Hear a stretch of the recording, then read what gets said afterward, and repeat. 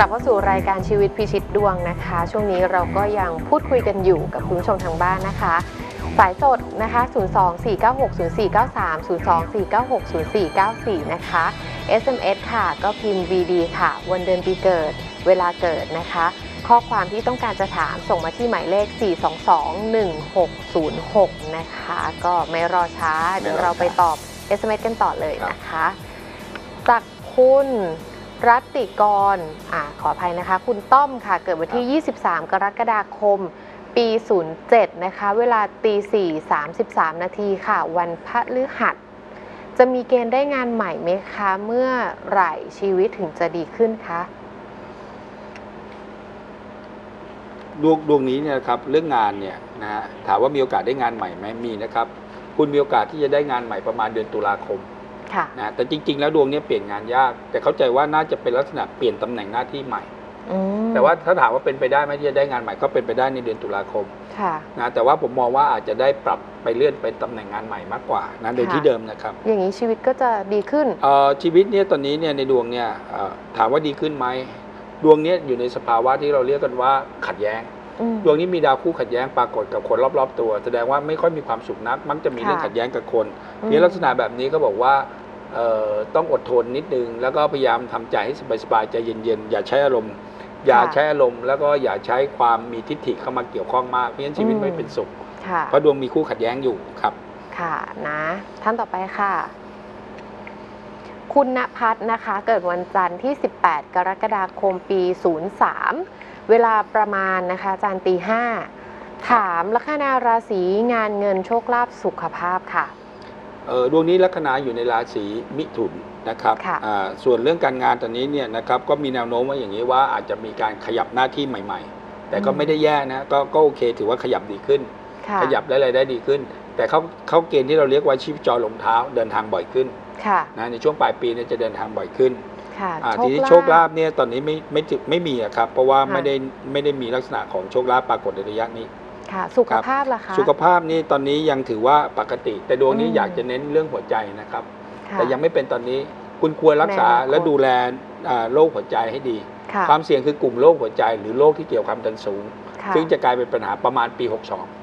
62ตั้งแต่มีนา 62 ต้องใส่ใจเรื่องนี้เป็นพิค่ะเศษก็ต้องนะครับดูแลตัวเองแต่ตอนนี้ไม่เป็นไรนะครับตั้งก็แต่วัยังโอเค แต่ตอนนี้มีโรคน่าลำคาญอยู่โรคหนึ่งคือค่ะกระดูกเสื่อมโอ้หรือปวดข้อ แต่ว่ายังค่ะไม่ได้รุนแรงอะไรครับค่ะก็ดูแลรักษาสุขภาพด้วยนะคะ คุณณพัฒน์ท่านต่อไปค่ะ คุณวสันต์ค่ะ เกิดวันจันทร์ที่ 2 สิงหาคมปี 19 นะคะ เวลา6โมง13 นาทีเช้านะคะหนี้สินการงานโชคลาภค่ะ หนี้สินเนี่ยยังคงจะมีภาระเรื่องหนี้สินเนี่ยอีกนาน และดวงนี้ต้องระวังอะดวงนี้มีลักษณะแปลว่าถูกโกงหรือถูกหลอก ค่ะ แล้วก็ลักษณะถูกโกงถึงหลอกเนี่ยจะไปถึงสิ้นปี 61 เลยอืม งั้นทำอะไรก็แล้วแต่อย่าระวังอย่าระระวัวังงนะอย่าไว้ใจใครง่ายๆ เรื่องค่ะเงินเรื่องทอง อะไรที่มันได้ง่ายๆเนี่ยในโลกนี้ไม่มีนะครับ เพียงค่ะ อย่าเสี่ยงกับการทำเรื่องแบบนี้นะครับ ค่ะการงานการงานค่ะ เนี่ยตอนนี้ยังยังไปได้เรื่อยๆ ไม่ได้มีปัญหาอะไรค่ะ นะครับการงานก็ยังโอเคอยู่ โชคแต่ลาภ โชคลาภนี่ โชคลาภตอนนี้ยังไม่มีคุณเข้าเกณฑ์เงินรั่วนะครับ แล้วก็โชคลาภคุณจะพอมีบ้างนะครับ จะพอมีบ้างคือปีหน้าตั้งแต่เดือนกันยาเป็นต้นไปครับ อืมนะคะครับ ท่านต่อไปค่ะ คุณวันนี้ค่ะเกิดวันที่ 19 กันยายน ปี 23 วันศุกร์นะคะอาจารย์เวลาตีสี่ตรงค่ะ ถามเรื่องของการเงิน การงานคู่ครองแล้วก็โชคลาภค่ะ อะเอาการเงินก่อนนะครับ ดวงนี้เนี่ยนะอ่า ไม่ถึงกับเดือดร้อนเรื่องเงินเรื่องทอง แต่ว่ายังไงก็ก่อนหนี้ค่ะนะครับเพราะมีเกณฑ์ว่าจะก่อนหนี้ใหม่ จะซื้อทรัพย์สินอะไรบางอย่างที่จะต้องก่อนหนี้ค่ะนะครับอ่าเรื่องความรักนี่ตอนนี้เขาบอกว่ามีโชคเรื่องความรักแต่ต้องระวังนะเพราะดวงนี้บอกว่ามีโชคมากเกินไป มากเกินไป ก็แปลว่ามีมากกว่าหนึ่งนะค่ะครับเพราะฉะนั้นบางทีต้องเรียกมาเป่ายิงชุบอืมแต่เป็นโชคทางความรักนะคะใช่ครับโชคคือค่ะคืออย่างนี้ยคุณแพรคนที่มีโชคความรักอะมักจะมีคนเข้ามามากค่ะ แล้วถ้าไม่รู้จักจัดสรรหรือเลือกให้ดีๆเนี่ยมันจะอืมกลายเป็นปัญหารักซ้อนได้ง่ายค่ะดวงเนี้ยมีดาวความรักปรากฏขึ้นสองชุดค่ะแสดงว่าอาจจะมีมากกว่าหนึ่งคนหรือสองคน ถ้าค่ะไม่เลือกดีๆ ก็กลายเป็นปัญหาได้ แต่สุดแท้แต่แล้วก็อยู่ที่ตัวของเราเอง อยู่ที่การจัดการของเรามอย่าหวานเสน่ห์มากนะครับ เดี๋ยวจะเดือดร้อนค่ะใครที่มีคู่แล้วมีครอบครัวแล้วใจก็ต้อยิ่งงต้องระวัง ระวังเป็นพิเศษใช่อีกคหรับนึ่ง แล้วโชคด้านอื่นนะคะอาจารย์ ดวงนี้มีโชคทางการเงินนะ เริ่มตั้งแต่เดือนสิงหานี้เป็นต้นไปอืมจะมีโชคอยู่ 3 เรื่องนะหนึ่งมีโชคแบบลาบลอย ค่ะ อันที่สองคือคือมีโชคจากการลงทุนค่ะนะครับและอันที่สามเนี่ยนะครับมีโอกาสจะมีทรัพย์สินใหม่ ค่ะ ก็มี 3 อย่าง อาจารย์คะถามนิดนึงตลอด2อสสัปดาห์ที่ผ่านมา อาจารย์จะค่อนข้างแนะนำว่าเดี๋ยวหลังสิงหาจะมีโชคจะดีขึ้น เพราะว่าอะไรคะคือคือมันอย่างนี้ฮะเวลาเราดูดวงเนี่ยเราดูเรื่องใหญ่ อืมๆ ในเดือนสิงหาคมเนี่ยจะเป็นวันที่ดาวพฤหัสคือเทพเจ้าแห่งโชคลาภย้ายเข้าสู่ราศีกันค่ะ งั้นคุณแพรพอนึกภาพออกไหมฮะ นั่นหมายความว่าใครก็ตามที่ค่ะมีดาวโชครออยู่ที่ราศีกัน ก็จะได้ในเดือนสิงหาเป็นต้นไป อืมแต่ถ้าใครไม่มีก็ไม่มีนะ แปลว่าจะต้องเป็นราศีหรือลัคนากันไหมคะ ไม่จำเป็นนะไม่จำเป็น คือเราขึ้นอยู่กับตำแหน่งโชคของเขาค่ะ ลัคนาราศีไหนก็ได้ ถ้าเขามีดาวที่เตรียมรับโชคที่ราศีกัน อ๋อมันก็จะได้ประมาณสิงหา ส่วนส่วนอย่างนี้ฮะเอ่อส่วนเอ่อในปลายปีเนี้ยนะครับค่ะในปลายปีนี้เนี่ยมันจะมีดาวขยับอยู่ 2 ชุดค่ะก็คือดาวมฤตยู ค่ะที่อาจารย์บอกไป ใช่ มันทับมา 2 เดือน วันที่ 30 สิงหามันจะย้ายออกราศีมีนค่ะ นี่คนราศีมีนก็จะสะเทือนค่ะนะและอีกอันหนึ่งก็คือปีหน้าดาวราหูจะย้ายออกวันที่ 9 กันยาค่ะงั้นใครที่มีเคราะห์จากราหูก็จะพ้น 9 กันยา ค่ะส่วนคนที่มีเคราะห์อีกพวกหนึ่งก็คือพวกที่มีเคราะห์จากดาวเสาร์ดาวเสาร์จะออกออกจริงๆอะคือวันที่ 26 ตุลา60 ค่ะ แต่ออกชั่วคราวเนี่ย วันที่อืม26 มกราคม อ๋อมีออกชั่วคราวด้วย60ไม่เพราะว่าลักษณะการเดินของดวงดาวเนี่ยมันจะมีสวิงไปสวิงมาบางทีค่ะเดินหน้าและถอยหลัง เหมือนที่อาจารย์บอกมฤตยูก็ตอนนี้ก็เหมือนเข้าใช่มาครับแล้วเดี๋ยวก็ออกไปแป๊บนึงใช่ครับใช่ครับดาวเสาร์ก็เหมือนกัน มันจะออกจากตำแหน่งดาวราศีพิจิกไปธนูเนี่ยหลังวันที่ 26 มกราค่ะแต่พอประมาณสักแถวๆเดือน เอ่อเมษามันก็จะกลับมาที่ราศีพิจิกใหม่ แล้วก็อยู่ไปถึงตุลาตุลาแล้วไปแล้วแล้วไปแล้วรัคบราวนี้เลยไปแล้วไปม่แล้วม่ไปแล้วไปลารับก่อนงั้นเวลาจะสังเกตนะเวลาบอกว่าจะมีโชคเมื่อไหร่เนี่ยเราจะค่ะดูจากดาวชุดเนี้ยว่าช่วงไหนเนี่ยอืมเขาจะมีโชคในช่วงประมาณนี้ค่ะนะครับเหมือนที่อาจารย์บอกว่าดาวโชคก็คือดาวพฤหัสเลขห้าเลขกับดาวศุกร์ใช่ไหมใช่ครับะแต่ว่าเวลาเราดูโชคใหญ่เราจะมองตัวเดียวคือเลข 5 ส่วนค่ะที่มองเรื่องทุกข์เนี่ยคือมองดาวเสาร์ค่ะส่วนเรื่องความวุ่นวายเปลี่ยนแปลงจะมองที่ราหูอืมราหูจะทำให้ทุกอย่างต้องเปลี่ยนหมดค่ะ นะครับแล้วราหูแปลว่าหนี้ด้วยค่ะงั้นเวลาใครถามเรื่องเงิน ก็จะบอกว่ามีหนี้ไหมค่ะ แล้วก็ต้องเปลี่ยนไหมอืม ก็จากดาวราหู เนี่ยแหละก็ครับติดตามรายการเราไปเรื่อยๆนะคะ ก็เดี๋ยวก็เรียนรู้ไปดูดวงเป็น พร้อมๆกันครับ นะคะ ตอนนี้แพรก็เริ่มจะเข้าใจเข้าใจแล้ว นะคะอะมาต่อกันที่ SMS นะคะ ครับ คุณวันนี้อันนี้ดูดูไปแล้วครับ นะคะ ท่านต่อไปเนาะคุณทะมนวันนะคะ เกิดวันจันทร์ที่ 2 พฤษภาคม ปี 20 ค่ะ เวลา 15นาฬิกา26 นาทีค่ะอาจารย์นี่ก่อนปี 20 20 ค่ะ เวลา 15.26 1526 ครับถามความรักและการเงิน อ่าเรื่องการเงินก่อน ดวงนี้เข้าเกณฑ์เงินรั่วไปจนถึงเดือนสิงหาเหมือนกันอย่างที่บอกเดี๋ยวดาวพฤหัสจะเข้าที่ราศีกัน เพราะคุณเกิดลัคนาราศีกันค่ะ พอดาวพฤหัสดาวย้ายเข้าราศีกันจะมีผลปรากฏสองอย่าง ก็คือหนี้สินที่มีอยู่จะคลี่คลายในระดับหนึ่ง ค่ะ ก็คือจะเบาลงม และที่สองก็คือจะต้องย้ายไปอยู่ที่ใหม่ค่ะนะครับแล้วก็จะมีรายได้มากขึ้นอืมนะครับก็ดีบางคนจะได้ไปนอกนะเวลาอยู่ในราศีเนี้ยถือว่าดีใช่ครับนะคะความรัก็กดีขึ้นะคะส่วนความรักเนี่ยตอนนี้เนี่ยไม่ดีครับค่ะพระคืออย่างนี้ว่ากรณีที่มีความรักอยู่ ถ้าอยู่ไกลกันถือว่าดีไม่มีค่ะเรื่องอืมแต่ถ้าอยู่ใกล้กันแปลว่ามีทางทะจะเลาะแยกกันจากกันใช่ครับอืมนะคะ ท่านต่อไปค่ะ คุณสุค่ะเกิดวันที่ 2 มิถุนายนปี 22 นะคะ เวลาสองสองตีห้ายี่สิบนาทีค่ะปีห้ายี่สิบอ่าครับ จะได้ตั้งถิ่นฐานที่ต่างประเทศในปีนี้ไหมคะ ความรักและโชคลาภค่ะ ตั้งถิ่นฐานในต่างประเทศที่ปีอืมนี้ไหมเอ่อถ้าดอกถ้าถ้าดวงนี้เนี่ยนะ เข้าเกณฑ์ที่แปลว่าไปเริ่มต้นชีวิตใหม่ ค่ะ เข้าเกณฑ์ว่าจะต้องไปเริ่มต้นชีวิตใหม่ ตั้งแต่วันที่ 13 กรกฎาคมของปี 58 ค่ะ นะครับ ขณะเดียวกันเนี่ยมีดวงที่ต้องพลัดพรากจากถิ่นฐานบ้านเกิดค่ะนะฮะภายในปี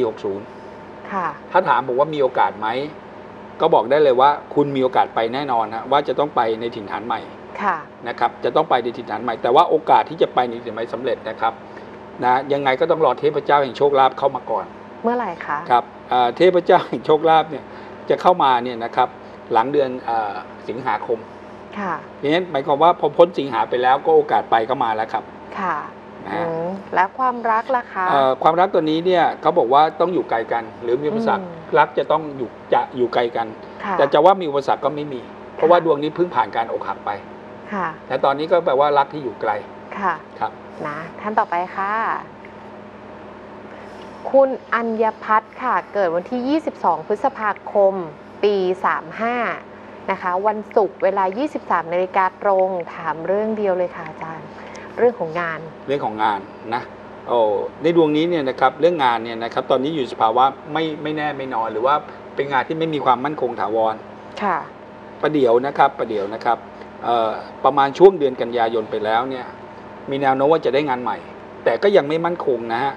งานของค่ะคุณเนี่ยจะมีความมั่นคงต้องเลยเดือนมกราคมปี 60 ก่อนเพราะฉะนั้นหมายว่าเมื่อได้งานแล้วจะเปลี่ยนอีกในปีหน้า ค่ะ แต่คราวนี้เปลี่ยนแล้วเปลี่ยนเลย ค่ะ แล้วก็ที่สำคัญก็คือปีหน้าถ้าเปลี่ยนงานต้องย้ายบ้านด้วย ค่ะ เพราะว่าย้ายไปอยู่ที่ไกลงาคนรับดีไหมคะงานดีครับปีหงานดีมาก อืมใครมีดวงแบบนี้บอกปีหน้าไปทำงานในถิ่นไกลต้องย้ายบ้าน แล้วก็อาจจะไปบางคนจะไปเมืองนอก บางคนก็ไปต่างจังหวัด ครับ อืมนะคะ ท่านต่อไปค่ะ คุณเบียร์ค่ะ เกิดวันศุกร์ที่ 20 พฤศจิกายน ปี 30 นะคะ เวลา 17นาฬิกาจุด ครับ29 นาทีค่ะ งานเงินความรักค่ะอาจารย์ งานดวงนี้ราศีพฤษภนะครับ ตอนนี้อายุย่าง29แล้วค่ะ นะถามว่าเงินเป็นไง ตอนนี้เงินก็เป็นภาระนะครับ แล้วก็หาเงินได้ไม่เป็นไร ค่ะมีโชคเรื่องเงินตั้งแต่เดือนกันยานี้เป็นต้นไปค่ะส่วนเรื่องความรักเนี่ยนะครับเอ่อต้องบอกว่าต้องทนอกหักไปก่อนนะครับ ถึงสิ้นปี60ค่ะถึงจะมีรักแท้ อืม ดวงนี้เนี่ยต้องทำใจนะเขาบอกว่าค่ะถ้าไม่อยากอกหักนะ ควรเลือกคนที่เป็นไม้หรือเลือกคนแก่กว่า ค่ะ ครับเอารอนิดหนึ่งนะคะครับท่านต่อไปค่ะ เกิดวันที่ 10 พฤศจิกายน ปี 24กาสองสี่ค่ะ เวลา8โมงเช้านะคะแปดถามเรื่องเดียวเหมือนกันความครับรักเป็นอย่างไรคะเอ่อเรื่องเร็วเรื่องความรักนะครับนะตอนนี้อายุย่าง 35 ค่ะ35เรื่องความรักตอนนี้ก็ยังไงเดียดวงนี้เนี่ยเรื่องความรักเนี่ยตอนนี้ยังถือว่าไม่มีอะไรเป็นพิเศษ เอาแปลว่าคุณยังไม่มีโชคเรื่องความรักจนกว่านะจนกว่า เดือนสิงหาให้เพิ่งหัดย้ายเข้าสู่ราศีกัน ความรักก็จะมาเคาะประตูบ้านครับ ค่ะ ถ้ารออยู่ก็จะมีก็จะเจอช่วงนั้นใช่หลังครับ จากสิงหาคใช่มครับต้องเดือนเดือนสิงหาจะมีเรื่องความรักเข้ามาครับ ค่ะ ท่านต่อไปค่ะ คุณปานิสลานะคะ เกิดวันอังคารที่ 6 กันยายน ปี 37 เวลา 20นาฬิกา30 นาทีค่ะ การเรียนสุขภาพแล้วก็เนื้อคู่ เอาเรื่องการเรียนก่อนนะครับ ปีนี้ต้องตั้งใจเรียนนิดหนึ่งนะครับ เพราะว่าจะเจอวิชายากค่ะๆโดยเฉโดยเฉพาะวิชาที่เกี่ยวกับพวกไอ้อ่าอะไรอะปกครองรัฐศาสตร์ หรือวิชาที่เกี่ยวกับบริหาร ค่ะ นะครับช่วงนี้จะเจอวิชายากๆประเภทเนี้ยแหละครับอืม นะครับ แต่ว่าการเรียนจะดีขึ้นหลังเดือนหลังจากเนี่ยนะฮะประมาณเดือนกันยาไปแล้ว คิดว่าหลังจากนั้นจะจบภายในหนึ่งปีค่ะ เนื้อนะคู่ ส่วนเนื้อคู่เนี่ยจะมาแน่ครับปีนี้นะคปีรับ นี้เหรอคะ ปีนี้เลยครับ เพราะว่าเนื้อคู่เนี่ยเขามีดาวเนื้อคู่ปรากฏในดวงเนี่ยอืมตั้งแต่เดือนหลังมันเกิดอะนะครับ ค่ะ หลังวันที่ 6 กันยาเป็นต้นไปแต่ระวังนะครับโอ้ดาวเนื้อคู่นี้เนี่ยเป็นดาวมีตำหนิ ค่ะ มีตำหนิแปลว่าต่างวัยเป็นไม้ ต่างประเทศ ใช่ครับ และต่างชาตินะครับแปลว่า 3 เคสแต่ผมมองว่าต่างวัยมากกว่าค่ะและที่สำคัญต้องระวังให้ดีเพราะว่าดาวดาวเนี้มีตำหนิโอกาสจะเจอคนมีครอบครัวสูงค่ะนะระวังคนมีครอบครัว แล้วครับสุขภาพมีอะไรเตือนไหมสุขภาพคะไม่มีอะไรช่วงนี้ไม่ค่อยดีนัก แต่ว่าเป็นลักษณะอืมไม่สบายตัวไม่ได้ถึงกับป่วยครับ ค่ะเอาละค่ะตอนนี้ก็มีอีกหนึ่งสายจากทางบ้านมาแล้วนะคะ สวัสดีค่ะ สวัสดีค่ะ สวัสดีครับค่ะ จากคุณอะไรคะ ค่ะชัชดาค่ะครับชัชดาชัชดาเกิดวันที่เท่าไหร่คะ เกิดค่ะเกิดวันที่ 15 ธันวาคม 2521มะเมียค่ะสองเวห้าลาตีห้ายี่สิบห้าค่ะเวลาเท่าไหร่นะครับตีห้ายี่สิบห้าค่ะ ตีห้ายี่สิบห้าครับ 15 ธันวาคม 2521 นะคะ เวลาตีค่ะ5 25 นาทีนะคะค่ะ อ่าครับ เอาละอืม ดวงนี้ตอนนี้อยู่ในช่วงที่แปลว่ามีปัญหามีอุปสรรคยากลำบากอยู่เลยนะครับนะครับเพราะฉะนั้นตอนนี้ค่ะคุณมีอุปสรรคและเหนื่อย มีปัญหาเรื่องที่เกี่ยวกับเรื่องงานด้วยใช่ไหมครับเออจริงๆแล้วไม่ค่อยไม่มีค่ะไม่คือตอนนี้ดวงคุณเหมือนกับว่ากำลังจะต้องไปเริ่มงานใหม่นะหรือกำลังจะเตรียมตัวไปอ๋อทำงานเหรอใหม่คะใช่ครับกำลังคืองานนั้นไม่ได้เดือดร้อน แต่เหมือนกับว่าจะต้องมีเกณฑ์ไปเริ่มงานใหม่ หรือเริ่มไปทำงานใหม่ ๆ ใช่ครับนะแล้วก็อาจจะต้องมีเกณฑ์ย้ายที่อยู่ด้วย เหรอคะไม่ทราบว่าย้ายยังเพราะว่าดวงคุณร้อนที่อยู่มาตั้งแต่ต้นปีแล้วออ๋อหนูปีที่แล้วหนูต่างประเทศค่ะอ่าใช่ครับ แล้วแฟนกลัมาเมื่อปีที่แล้วอะค่ะ ใช่ครับถูกเพราะว่าดวงนี้บอกต้องย้ายถิ่นฐานในช่วงที่ผ่านมานะครับนะแล้วก็กำลังดิ้นรนจะไปทำงานในที่ใหม่ป่ะครับเนี่ยเออหนูกำลังจะไปกับไปต่างประเทศอีกรอบะใช่ครับ อยากถามอาจารย์นะคะว่าหนูจะมีโอกาสไปต่างประเทศนะเอ่คะอจะไปต่างประเทศใช่มีครับเพราะว่าดวงคุณมีเกณฑ์จะต้องเดินทางระหว่างประเทศอะในช่วงตรงเนี้ย ดวงคุณตอนนี้อยู่บ้านไม่ติดนะครับ เป็นลักษณะของคนที่ต้องไปโน่นไปนี่ตลอดเวลา ใช่ค่ะครับ ก็ไปพวกเขาเรียกชีพจรลงเท้า แล้วจะเป็นอย่างนี้ถึงปีหน้าค่ะอืมนะแล้วแล้วดวงคุณน่ะมีแนวโน้มอีก2ปีข้างหน้าอาจจะต้องปักหลักในต่างประเทศไม่กลับถูกถิ่นฐานบ้านเกิดแล้วอืมเหรอคะใช่หมายว่านี่ตั้งใจจะไปตั้งถิ่นฐานที่ถิ่นฐานใหม่เลยใช่ไหมครับเนี่ย คิดไว้ค่ะแต่หนูแบบไม่คือคิดไว้เฉยๆอะค่ะ แต่หนูก็ไม่รู้ว่าจะเป็นไปได้หรือเปล่าเป็นไปได้ครับเพราะดวงบอกว่าคุณจะไปตั้งถิ่นฐานกับกับชายต่างชาติคนหนึ่งอืมอาจารย์บอกแบบนี้เลยเหรอ ใช่ครับเพราะว่าดวงนี้บอกว่าจะมีคู่ในต่างแดน แล้วไปใช้ชีวิตที่ต่างประเทศกับคู่ต่างประเทศ จริงๆก็มีแฟนอยู่แล้วไม่ใช่เหรอครับ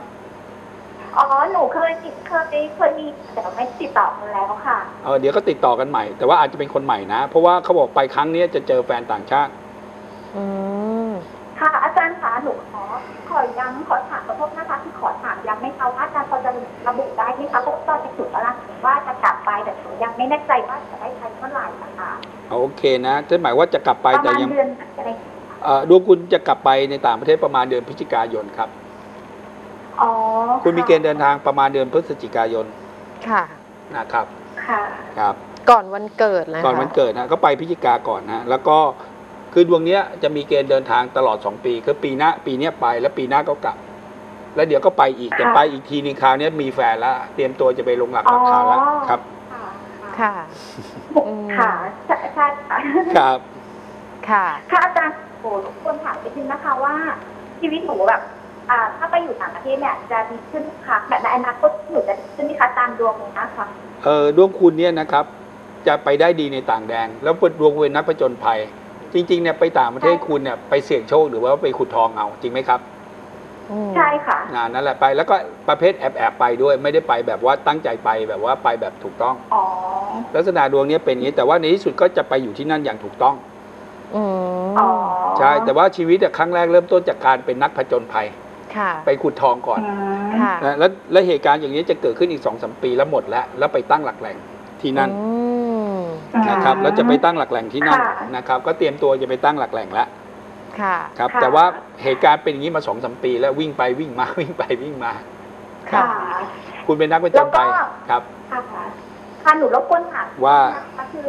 หนูอ่าอยากทราบว่าหนูจะมีโอกาสซื้อบ้าน แต่ว่าหนูอยากทราบว่าหนูจะต้องซื้อบ้านที่เมืองไทยหรือที่ต่างชาติต่างประเทศคะเอออืมคุณจะไปอยู่เมืองนอกไงครับ แล้วคุณจะซื้อบ้านเมืองอ๋อไทยทำ โอเคค่ะอืม ครับก็คงไม่ได้ซื้อที่ไทยใช่ครับ แล้วนอะดวงเขาไปตั้งหลักแหล่งในต่างประเทศที่มั่นคงคือหลัง 11 ตุลา 61 เป็นต้นไปครับอืมเอาขอโทษนะคะวันที่เอ็ดตุลาหก61 ใช่ครับ เป็นต้นไปครับ อ๋อโอเคค่ะครับค่ะดวงหนูจะเจอนกคู่ใช่ไหมคะเพราะว่าใช่ เจอครับก็ตรงนั้นแหละฮะที่จะมีเนื้อคู่แล้วไปอยู่ที่นั่นนะครับ อ๋อค่ะ ครับ โอ้ยค่ะ ฟังแล้วก็สบายใจค่ะ นะคะค่ะได้เอ่อไม่ทั้งทงาราบนทั้ว่างดรัวกงนี้มีบุตรไหมคะ เพราะว่าหนูอายุสิบ